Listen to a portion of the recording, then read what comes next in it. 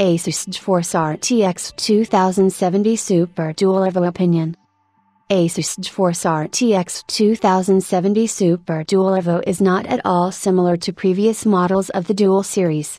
Probably, the suffix Evo was added in order to emphasize this. If earlier the execution of Dual was considered budgetary, now these are solid solutions with a class slightly above average.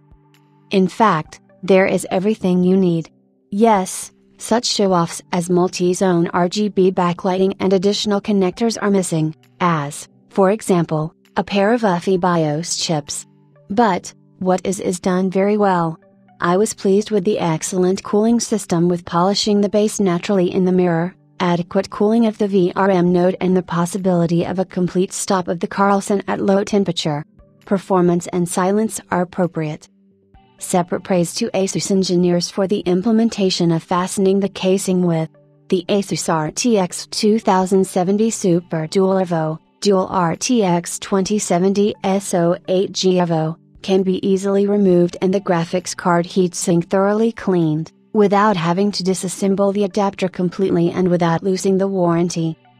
As for overclocking, here, like everyone else, really, the Micron memory chips went pretty well, overclocking to 15.9 GHz, but the GPU overclocked just average.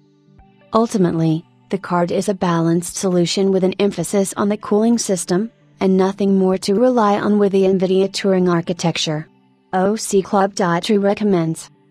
Plus. Short length, 267 mm. Cool appearance. Thick, thoughtful heatsink. Superb polished base. Generally quiet and productive with cooling of all heating components.